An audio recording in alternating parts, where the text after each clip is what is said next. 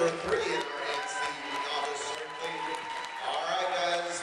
Clearly, y'all are doing a really good job because the judges need one more song.